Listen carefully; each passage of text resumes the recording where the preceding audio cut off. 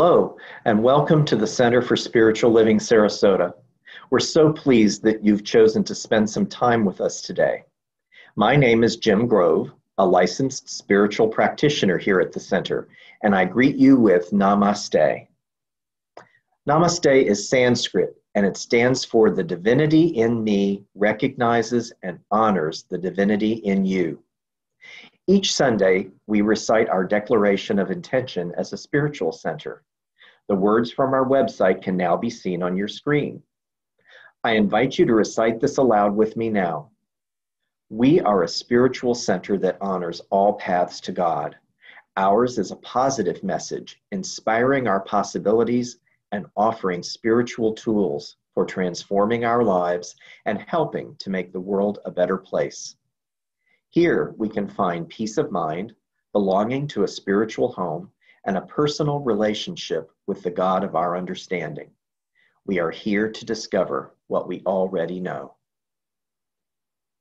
And now, as we move into our time of prayer and meditation, I invite you to close your eyes, take a deep breath, and just continue to focus on your breathing in this present moment. Now, Bob Teesdale will sing the chant I Am Opening by Christy Snow. Please join in if you're comfortable.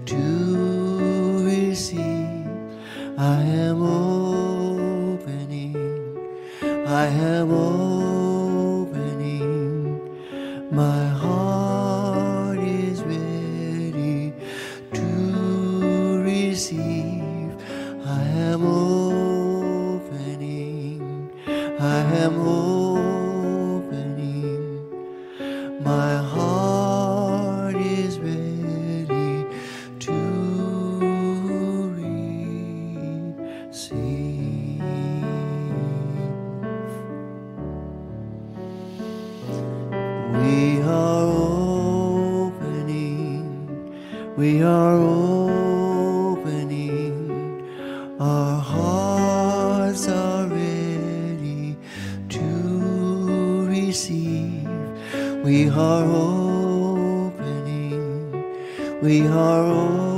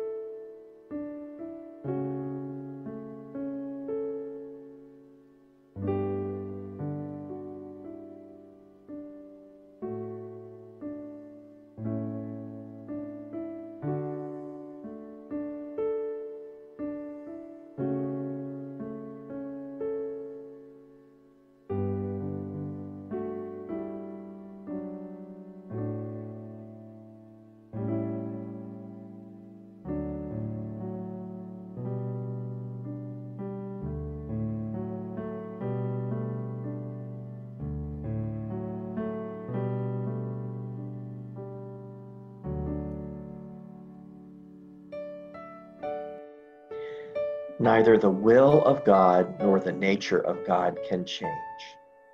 Reality is the same yesterday, today, and tomorrow. Everyone's real nature is spiritual and is of God. Though my real self is changeless, I live in a changing world. I am reassured in knowing that something permanent, substantial, and eternal stands in the midst of my being and watches with joy the eternal unfoldment taking place. To spirit, changes are merely variations of experience. Spirit is never caught, bound, or tied, and I, being an expression of spirit, am never limited by the world of experience. Negative experiences may seem to exist for a brief moment, but beauty, like truth, exists forever. All unlike God in my life ceases to exist when confronted with the divine reality of my being. I live in the changeless reality of God. I am not disturbed by the passage of time or the variations of experience which I go through. The divine acting in, through, and around me is changeless in its manifestation of good, and I rest secure in the knowledge that as changes occur in my life, they are always changes for the better. I give great thanks that good alone endures. As I release this word of truth, I am confident that is reflected back to me in all my experiences. And so it is. Today, our spiritual leader, Reverend Karen Wolfson, is speaking on change. What's next? But before we hear Reverend Karen's timely message, I'm pleased to welcome back Bob Teesdale as our today's soloist. This morning, Bob is singing one of his own songs, Change Your Mind. Welcome, Bob.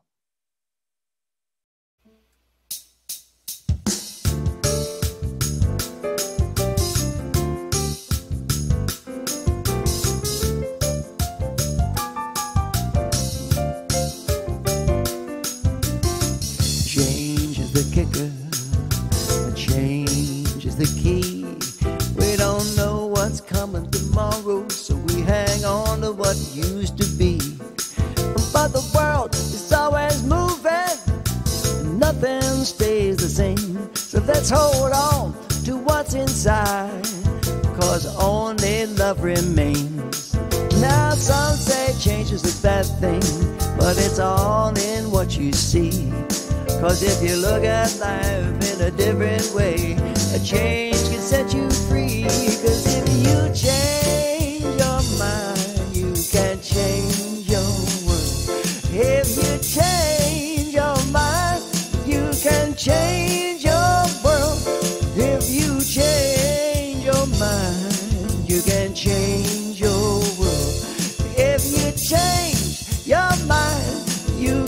change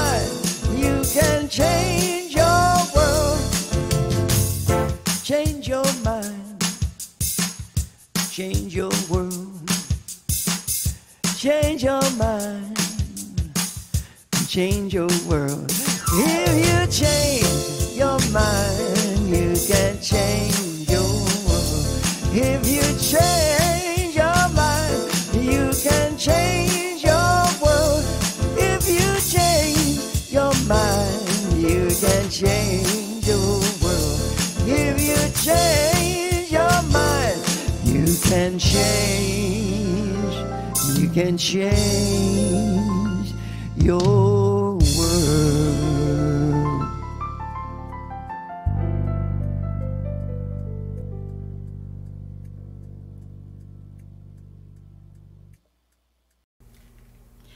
Thank you, Bob, for yet another of your original creations.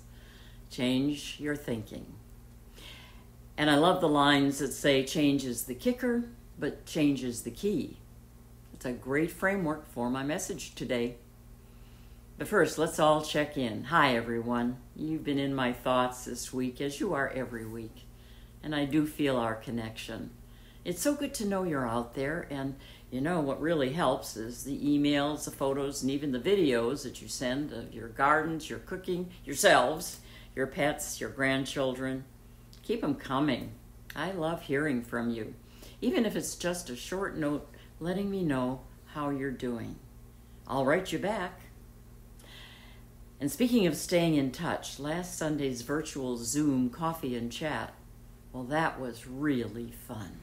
There were about 15 of us, and we were very informal and relaxed, and we just chatted and caught up with how how uh, our community members are doing, and, uh, and just shared information, and we all agreed, let's do this again, and we are going to first Sunday of October. So stay tuned and you'll get more information. I do hope you will plan to join us for the next coffee and chat with Zoom. And if you're watching us on Facebook Live, we enjoy your letting us know where you are.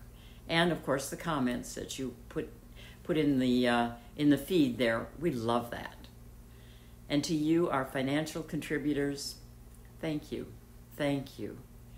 You are a vital part of the team that makes it possible for us to share our message, our caring, our connection, to stay in community as we're doing each Sunday and even during the week. And thank you all for joining with us today.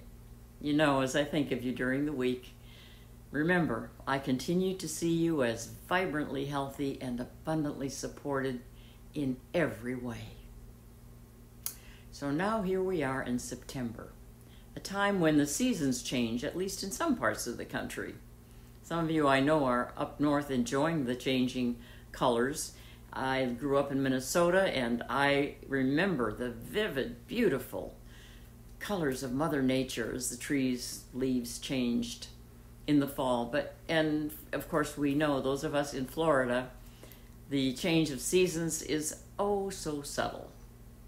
But at this time of year, because it is a time of seasonal change, it brings me to thinking about life's process of change. And you know, since mid March, our experience has been constant change. And in the midst of all this, do you find yourself often asking, What's next? Well, that's my title today. The first, uh, first part of a two part series on change. It's change, what's next? And you know, when we're in the midst of so much change and upheaval, life just doesn't seem to make any sense. And it's not that life doesn't make any sense, it's just that life doesn't always make sense the way you and I were expecting it to. So, in that case, what do we do? Well, when life doesn't make sense, we make up a story. Brene Brown wrote, we humans are hardwired to immediately make up a story about what's next. And it can often be a scary story. During these past several months, amidst all the uncertainty, the un- unexpected, and the unknowns of this pandemic, I wonder what pandemic stories have you been making up or listening to? And you know, they don't have to be necessarily scary stories. We can make up any kind of story. But back to the idea of change. You know, the truth is, life is always in change. The process of change is the only constant in life. What do they say? The only constant is change. Now, some of those change, changes we welcome, and in fact, some we initiate.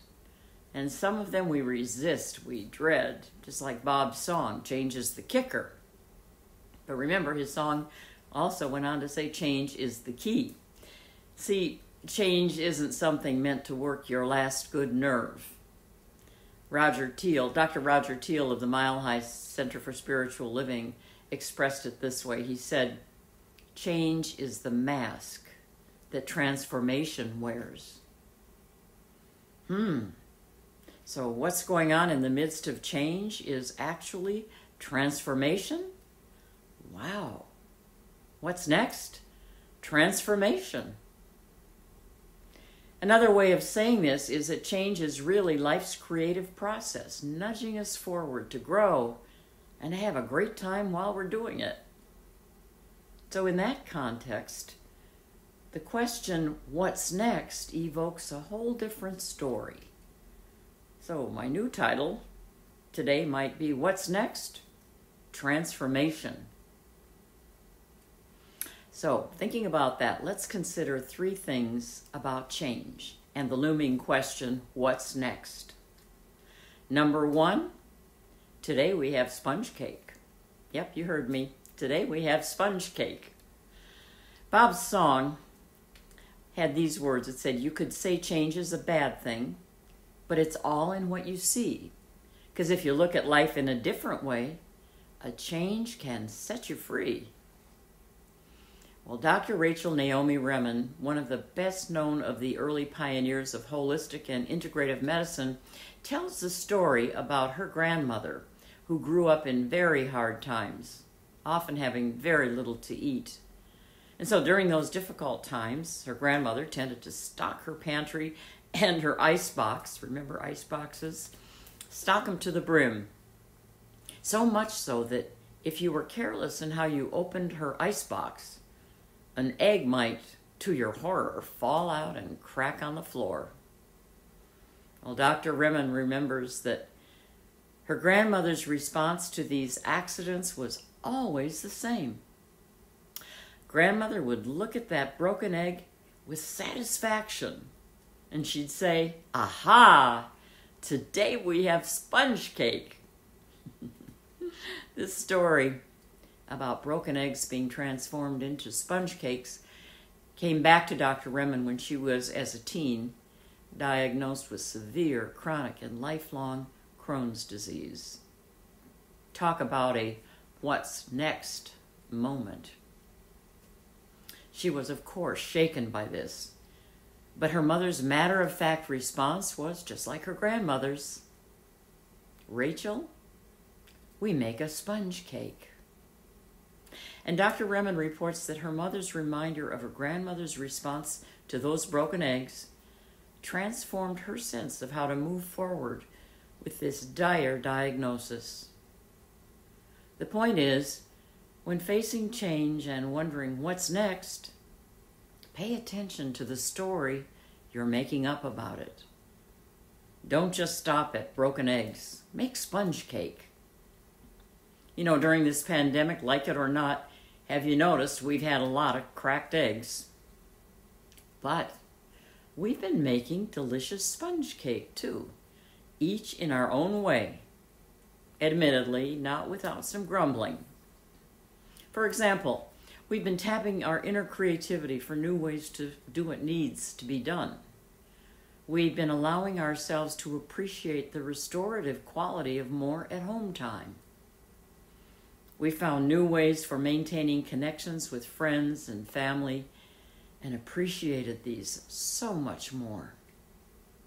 The storyline is up to us broken eggs or sponge cake, or red velvet, or chocolate, or coconut. Whatever's your pleasure. Now, number two, is this we don't know what we don't know. During this time of pandemic, that is so true. From the anxiety of change and then to the exhilaration of transformation, as Dr. Teel called it, in that space between, there's so much we don't know. And that, my friends, is actually the good news. Deepak Chopra called this the field of pure potential. And he says that when standing at the edge of the unknown, it is the richest place to be because that is the edge of pure potential. That is the place where anything is possible. I love that Bible passage that affirms that. It says, In God, all things are possible. In God, by whatever whatever is the God of your understanding, whatever you want to re, re, uh, re, name, however you want to refer to it, whatever you want to call it, or how you want to describe it. I like the way Deepak Chopra said it, and I believe he's referring to God. The source of all creation is pure potentiality, seeking expression from the unmanifest to the manifest, from the invisible to the visible.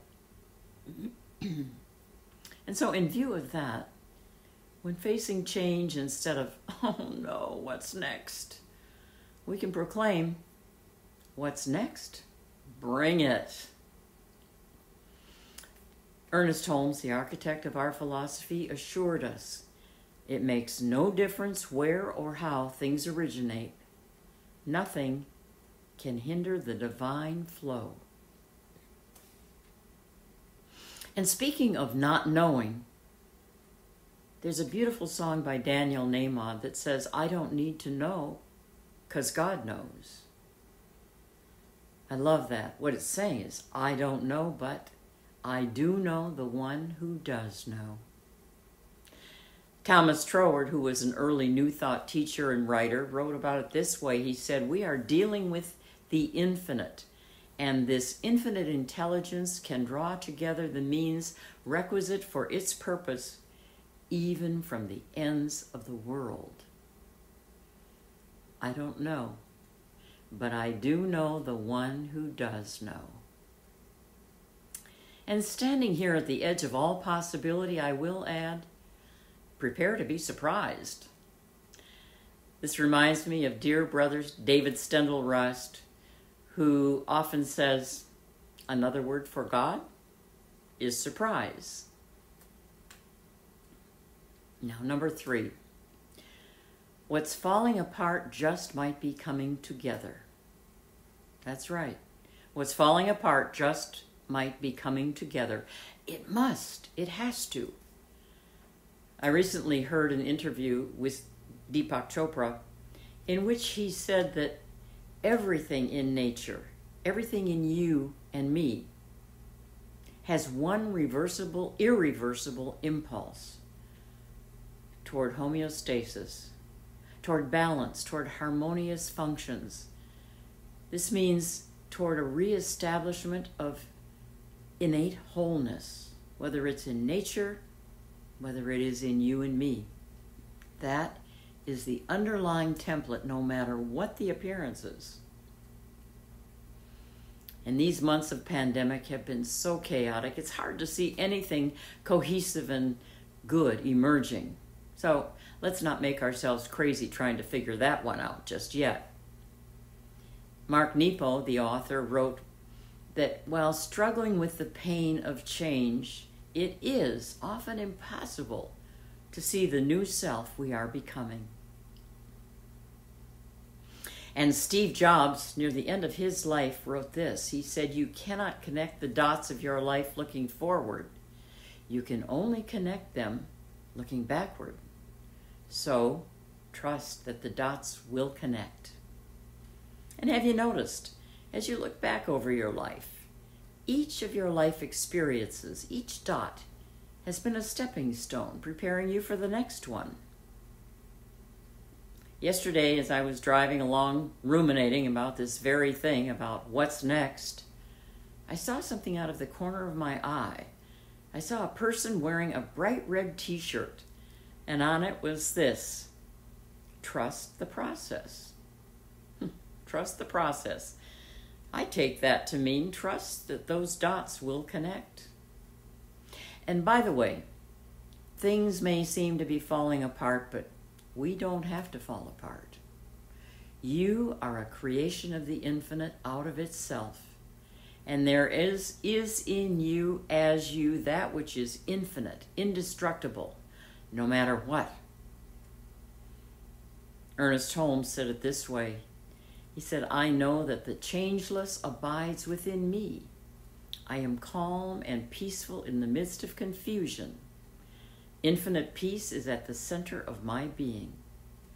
I know that nothing disturbs my soul. In view of that, what's next? Bring it on. And now to musically sum all of this up, Bob is going to sing a song for us. It's by Eddie Watkins Jr. It'll send us into our week walking with the Spirit. Enjoy, and I'll see you soon.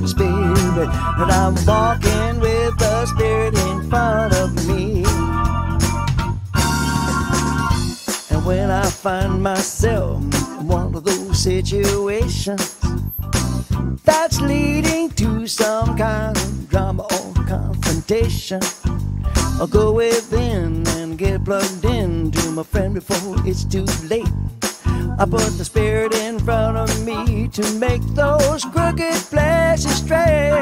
Yes, I'm walking, walking with the spirit, and I'm talking, talking to the spirit, and I'm learning, learning from the spirit, and I'm turning, turning to the spirit, and I'm growing, growing in the spirit, and it's showing, showing in the spirit, and I'm walking with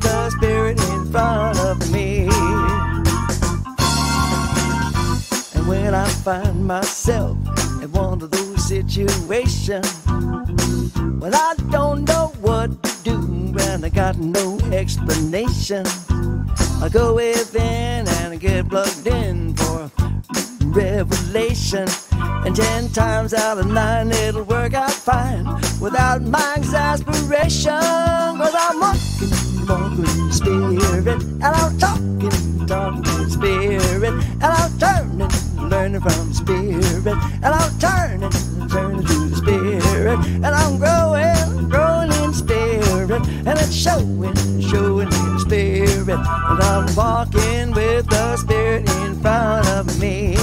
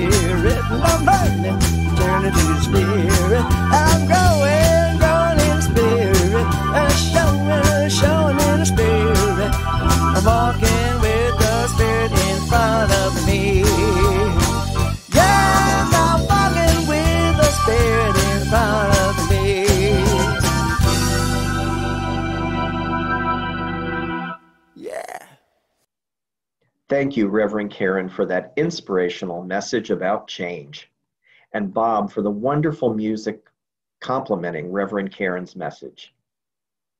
Now it's time for our offering. We're so grateful for your generous financial support of this center that allows us to continue bringing you opportunities for virtual community, connection, and support. There are three easy ways to share your offering. On your screen, you'll see our website, which is www.cslsarasota.com, where you can choose a couple of options. You can select the donate button, which allows you to contribute via PayPal or by credit card. Or you can mail a check to our address shown there on our website. You can also set up automatic contributions through your own online banking. And now I invite you to place your hand over your heart as you reflect on your gift, blessing it as you share it. And know this with me my gift goes forth to heal, to bless, and to prosper. And the divine flow returns it to me, multiplied abundantly. Now, please join me in reading our offering affirmation together. I give thanks that I may share of my good, my love, and my support. And while we're showing you our website, I'd like to draw your attention to the green prayer request button. We invite you to use this feature to send us your request for prayer support.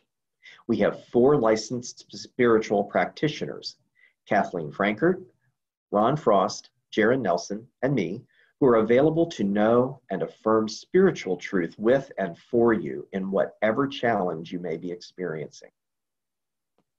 Here on our website, you can also sign up to receive our weekly email newsletter.